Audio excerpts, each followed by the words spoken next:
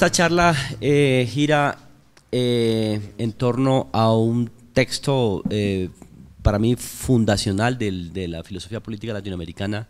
que fue este texto escrito por Laclau y Chantal Mouffe en los años 80, Hegemonía y Estrategia Socialista hacia una radicalización de la democracia. El, básicamente lo que voy a, a, intentar hacer en este, en este rato es mostrar cómo el eje central del, trabajo de, de, la Chloe de Mouffe, que es la crítica al esencialismo de clases, tiene una alta pertinencia en el contexto de los debates que se están llevando a cabo en, eh, las últimas décadas y en los últimos años en países como el Ecuador, en el sentido en que el esencialismo de clase, tal y como lo, tratan críticamente eh, la Chloe Mouffe, es llevable hacia el tipo de esencialismo étnico que se está viviendo en este momento y que es una de las fuentes desde las cuales se fundamenta eh, lo que podríamos llamar la oposición de izquierda o la oposición de la ultraizquierda eh, a, los proyectos que están en curso en este momento. A ver, eh, primero, las sociedades latinoamericanas han, sabemos, iniciado desde, desde, el año 99, desde el ascenso de Chávez al, al poder en Venezuela, una serie de transformaciones que son realmente significativas respecto a lo que era el modelo neoliberal eh, dominante. Las, las, conquistas que se han logrado en el sentido de la inclusión de los sectores populares son altamente significativas. Lo podemos ver en la, recuperación del rol regulador del Estado, en el tema de la educación, en las nuevas formas de negociación eh, de la soberanía nacional, etc. Pero eh, a pesar de esto, eh, la, ha habido una, en el caso del Ecuador, una significativa oposición de parte de un sector de, izquierda y este sector ha tomado como fundamento principal una serie de, imágenes en torno al tema de la etnicidad. el movimiento indígena, si se quiere, ha sido en el, el sector que cumple en el contexto del Ecuador actual una situación análoga a las imágenes esenciales que se desarrollaron sobre el, proletariado y que también se desarrollaron eh, sobre el, campesinado y que es lo que constituye uno de los, el eje más importante de la, de la, de la obra eh, fundacional de, de, la Chloe Mouffe. Eh, una de las, preocupaciones de la, de la, de la y de Mouffe es el indagar las raíces autoritarias de la, de la izquierda. En, ese sentido, la obra está realmente dedicada a explorar este, este, este autoritarismo eh, y sobre todo tomando en consideración que la obra fue escrita en un momento en el cual se estaba produciendo una transformación internacional terriblemente significativa, que era prácticamente el fracaso del denominado socialismo real, la, llegada de Gorbachev, la, crisis del, socialismo real era evidente, y había además una serie de cánticos eh, de triunfos del neoliberalismo, eh, en, el caso de Ronald Reagan y de Margaret Thatcher en, Gran Bretaña, y la preocupación que planteaba Mouffe y, y, la Chloe bueno, ¿cómo fue que perdimos? ¿Qué fue lo que pasó? Y ellos encuentran que una de las razones por las cuales la, crisis está, se, estaba viviendo en la izquierda está directamente relacionada con el tratamiento esencialista que hubo hacia el paradigma de, clases. Eh, entonces, lo que ellos plantean es que eh, el, esencialismo de clases es una tradición muy fuerte que se rompe eh, recién a partir de Antonio Gramsci, a pesar de que en términos históricos había una serie de evidencias que podrían demostrar unas perspectivas distintas a ese, a ese esencialismo. Eh, eh, lo que plantea básicamente, retomando a, Marx, y por eso yo creo que aquí hay una discusión que sería interesante, eh, Luciana, de abrir respecto a cuál es el límite del cambio de, sistema, porque lo que plantea la CLO en el fondo es una teoría de radicalización de la democracia que en muchos casos y la, la discusión apunta a ver si es una profundización de la democracia burguesa o si realmente es la construcción de un nuevo modelo. Y a mí me parece en, gran medida eh, lo, que, lo que plantea eh, la CLO, y con lo cual yo no estoy necesariamente en desacuerdo, es una, una profundización de la democracia burguesa, las promesas de la modernidad burguesa, eh, profundizarlas. Y, en ese sentido creo que las reflexiones que tiene sobre el, populismo y la hegemonía son, son fundamentales. el, el eje, digamos, de uno de los ejes del, esencialismo de clase, en el caso de Marx, está directamente vinculado hacia el origen, eh, eh, digamos, estas discusiones de, tipo hegeliano, donde se habla de la clase en sí y de la clase para sí, y donde eh, se, plantea que hay una definición a priorística de la identidad de clase fundamentalmente definida por la posición que los sujetos tienen en el, con respecto a la economía. Es decir, hay, un, hay una, un, peso muy fuerte de la economía para la definición de las, de las, de las clases. Y lo que plantea eh, eh, eh, la Chloe Move es sacar el tema del esencialismo de clase del ámbito económico y llevar al ámbito político discursivo. Y esto nos, abre una serie de, situaciones que son bastante interesantes en el sentido de la filosofía política. hay tres elementos históricos que inspiran la, obra de, la Chloe de Mouffe. El primer, la primera gran experiencia es que los antagonismos en el sentido marxista que se presupone existiría en el siglo XIX eh, empiezan a disminuirse desde la segunda mitad del siglo XIX, donde los sectores obreros, y esto es eh, claramente estudiado por los, por los historiadores de la clase obrera, eh, ya no necesariamente enarbolan un concepto de antagonismo irreconciliable con respecto a la burguesía, sino que establecen una serie de demandas que son para la inclusión dentro del sistema. Uno mira, eh, eh, un gran ejemplo de esto lo, lo, plantea Roger Chartier cuando miramos, por ejemplo, eh, las demandas para la construcción de casas, la, mejor de, la mejoría de las casas. Una vez se produjeron las reformas de Hausmann en el siglo, a mediados del siglo XIX, una de las principales demandas que hicieron los sectores obreros fue participar ellos también de estas eh, reformas eh, arquitectónicas. Entonces, este fue una de las, de las inspiraciones que, permitió, contra, digamos, criticar desde la perspectiva de la CLO el, el antagonismo como un tema esencialmente determinado por lo económico. Un segundo, bueno, dos, momentos también muy interesantes fue efectivamente la, reflexión en torno a Rusia, el populismo ruso, pero también la posibilidad de la construcción de un frente popular en el contexto de la, de la, de, la revolución soviética. Cuando se hablaba de frente popular era la posibilidad de que convergieran distintos sectores dentro de una propuesta política y no solamente un sector privilegiado como eh, eh, que sería la clase obrera que es, que es el gran problema eh, del marxismo del siglo XX. Y, otro, y otra experiencia muy importante, bueno, fue también la posibilidad de la construcción de frentes populares en los años 30 en la lucha contra el fascismo que eso fue uno de los debates muy importantes que hubo, por ejemplo, en el contexto de la, de, la, de la, de la, guerra civil de, España, que sería la conformación de estos bloques contrahegemónicos de carácter popular, multiclasistas, policlasistas, que contradecía efectivamente la perspectiva de una clase encarnando efectivamente un destino manifiesto y que significaría la libertad del resto, es decir, estábamos hablando entonces de la confluencia de distintos sectores. Y en la tercera experiencia, bueno, sin duda, es la experiencia experiencia latinoamericana, que vale la pena reflexionarla con un poquito eh, eh, eh, más de cuidado. La, experiencia latinoamericana fundamentalmente se empieza a producir desde la crisis de los regímenes oligárquicos de finales del siglo XIX,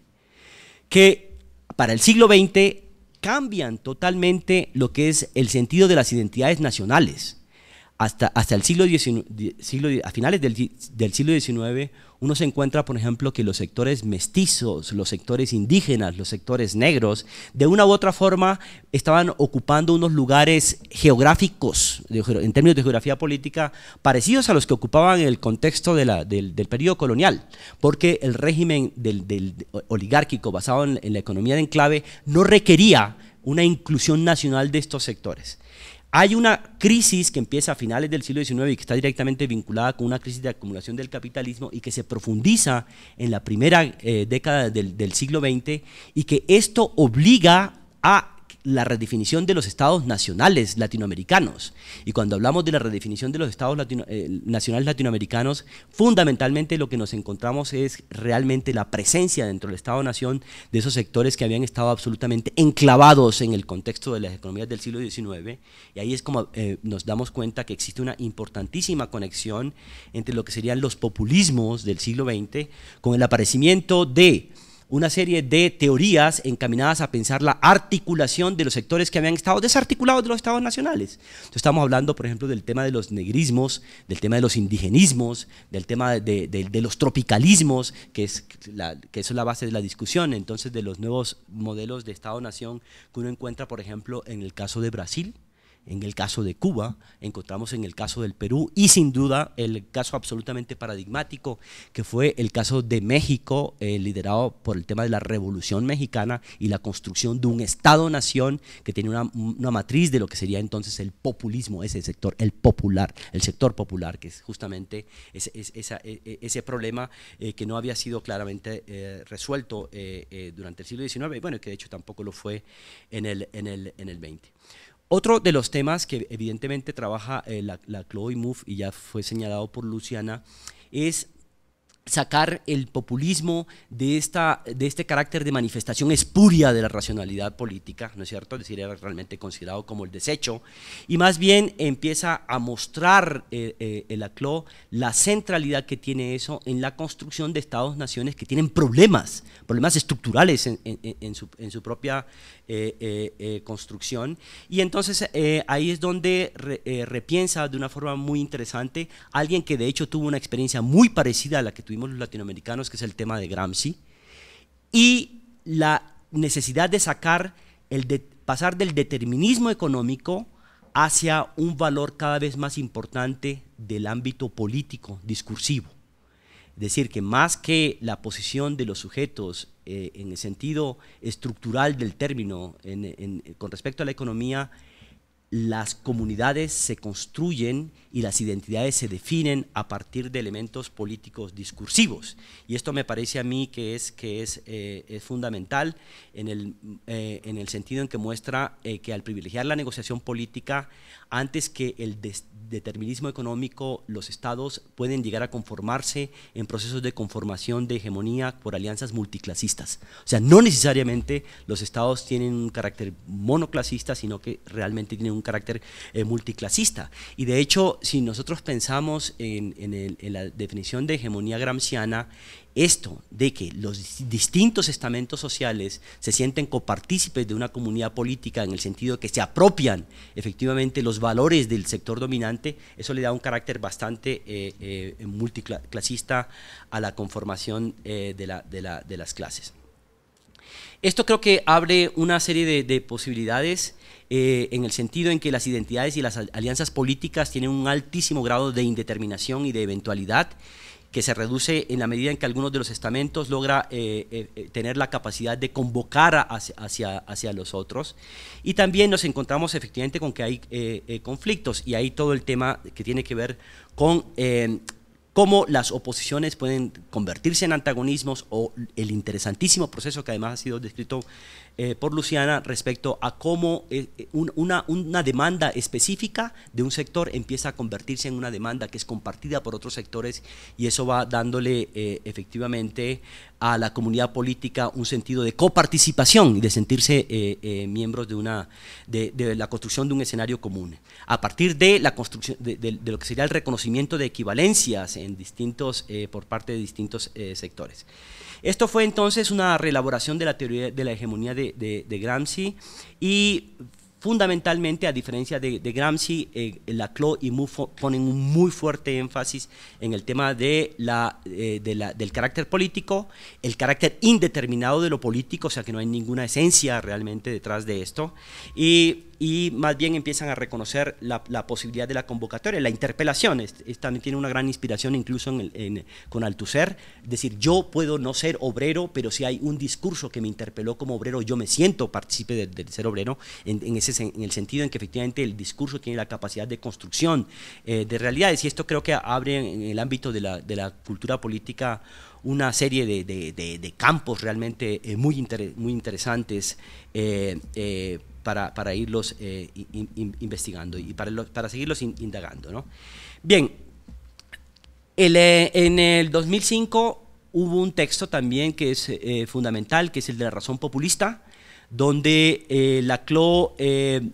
muestra en el, en el caso del populismo como una de las grandes experiencias donde se da la indeterminación de lo social y el peso de lo contingente en vez de el, cumplimiento de destinos inexorables por parte de algunos sectores. Es decir, el populismo es el lugar privilegiado donde efectivamente pueden confluir estos distintos horizontes y perspectivas de futuro y pueden colocarse además en, discusión. Bien, eh, ¿qué es lo que ha pasado con respecto al modelo de construcción del sector indígena en el caso del Ecuador? Y yo quisiera señalar fundamentalmente, primero, que en términos de la realpolitik, llamémoslo así, las movilizaciones indígenas que se han presentado en el Ecuador en las últimas décadas abrieron una posibilidad supremamente interesante con la experiencia de Pachacutic de conformar bloques populares contrahegemónicos, en los cuales efectivamente los sectores indígenas cumplían un rol importantísimo. Sin embargo, eh, la, experiencia de Pachacuti, que fue una experiencia en la cual efectivamente en articulación con la CONAIE, fueron cumpliendo un rol importante dentro de la salida de Bucaram, dentro de las, de las transformaciones eh, eh, políticas de las últimas décadas, a pesar de que hubo también un, proceso de caída por el, vínculo problemático que, tuvieron con Lucio Gutiérrez, Pachacuti, que en un momento determinado significó la posibilidad de conformar un grupo que liderara una lucha contrahegemónica. Sin embargo, al interior de Pachacuti, ¿qué fue lo que sucedió? Eh, como resultado, además de una serie de perspectivas internacionales que han tenido un gran eh, peso a, nivel nacional, los sectores etnicistas fueron rompiendo la alianza multiclasista y, y multiétnica que, planteaba eh, eh, eh, Pachacutic y fueron privilegiando entonces una perspectiva de un sector puro, un sector purista, y nos encontramos entonces con que el escenario ese de conformación de un bloque popular se debilitó y en su lugar apareció un escenario de una característica incluso bastante racista, en el sentido contrario, donde las posibilidades de los sectores, eh, eh, de, las alianzas de los sectores eh, populares se fueron debilitando. Y esto produjo entonces el, aparecimiento de un nuevo sector que fue el, famoso forajidismo, fue ocupando entonces este sector que el sector indígena ocupó en su momento y nos encontramos entonces con que el, forajidismo con unas características un poco distintas a la del indigenado fue el que empezó a dirigir en cierto sentido el, movimiento del, correísmo. Ahora bien, yo quisiera plantear eh, algunas reflexiones eh, sobre el problema de las relaciones entre el movimiento indígena y el gobierno en el contexto de, estos últimos años. Eh, la CLO y MOVE son muy claros cómo a partir de los años 70 y 80, bueno, incluso eh, antes, los sectores de izquierda han tenido la práctica de buscar de manera más o menos desesperada sectores que sean esenciales, es decir, sectores que realmente representen estas expectativas de manera esencial. Voy a leer lo que dicen ellos. Eh, muchos se han puesto a la búsqueda a partir de los años 60 de un nuevo sujeto revolucionario privilegiado que vendría a reemplazar a la clase obrera la cual habría fracasado en su misión histórica de emancipación. Los movimientos ecologistas, los movimientos estudiantiles, el feminismo y las masas marginales han sido los candidatos más populares para el desempeño de este nuevo papel, pero está claro que así no se escapa la problemática tradicional, sino que simplemente se la desplaza. No hay posición privilegiada única a partir de la cual se seguiría una continuidad uniforme de efectos que concluirían por transformar a la sociedad en su conjunto. Todas las luchas, tanto obreras como las de otros sujetos políticos, tienen libradas a sí mismas un carácter parcial y pueden ser articuladas en discursos muy diferentes. Es esta articulación la que les da su carácter y no el lugar del que ella provienen. Esto me parece que es muy interesante en el sentido en que nos permite reconocer que el sector indígena es un sector político y no es un sector privilegiado por el lugar desde el que vienen. Y valdría la pena hacer algunos, eh, algunas reflexiones eh, respecto a esto. Si uno hace una comparación de las plataformas políticas de los movimientos indígenas de los años 20 y 30 en comparación con lo de los años 70, nos encontramos que el, el, digamos, el, núcleo de, articulación fundamental de los años 20 y 30 es la de la integración nacional. El, incluso los, las teorías indigenistas, uno lo encuentra, por ejemplo, en el, gran intelectual eh, peruano Mariátegui, el gran intelectual del indigenismo, su teoría es una teoría de integración de tipo mestiza dentro del ámbito nacional. ¿Cuándo empieza a romperse eh, la, relación entre sector indígena y sectores nacionales? Lo encontramos en el momento del auge del neoliberalismo, es decir, cuando el imaginario nacional empieza a sufrir una fuerte crisis, estamos hablando de finales de los años 60 y de los años 70, y esto se radicaliza en el, eh, digamos, ¿cuáles son los sitios donde se empieza a originar esto? Uno, un sitio muy interesante es en México, donde empiezan a originarse las teorías que, que, ya no son de corte indigenista, sino neoindigenistas o indianistas que se denominan. El sector de los, eh, de los eh, neoindigenistas o de los, o de los indianistas mexicanos lo que plantean fundamentalmente es que existen diferencias ontológicas radicales e irreconciliables entre los sectores indígenas y los estados-naciones y se plantean incluso que existirían unas diferencias antagónicas e irreconciliables entre los sectores mestizos que encarnarían, encarnarían la dominación per se y los sectores indígenas que encarnarían el carácter de dominados per se. Esto fueron eh, eh, teorías que empiezan a empoderarse a partir de los años 70, que están directamente vinculadas con el debilitamiento del Estado-Nación y que luego se profundiza su debilidad por el, por el debilitamiento del paradigma de clase. Entonces esto nos plantea, de hecho, eh, una, serie de problemas en conformación de lo que serían las nuevas formas de soberanía. Sin embargo, dentro de los movimientos indígenas lo que nos encontramos es que existen tensiones y el caso de Pachacuti es absolutamente paradigmático en ese sentido. Existen sectores que apuestan hacia un distanciamiento, que además están apoyados por teóricos internacionales muy influyentes. En el caso del Ecuador eh, eh, existen teóricos como por ejemplo Catherine Walsh, quien plantea directamente que el, enemigo eh, natural del indígena es el, criollo, es el, criollo y es, el mestizo. Es decir, lo, que plantearía entonces en ese caso es que hay una imposibilidad de construcción de acuerdos populares porque hay una matriz esencial conduce, es decir, que conduce a la imposibilidad de la construcción de esa, esfera, eh, eh, eh, conjunta. Bien, hay otros elementos en el cual se, nutren estas, imágenes anti, es decir, neoindigenistas. Una la encuentran en varios teóricos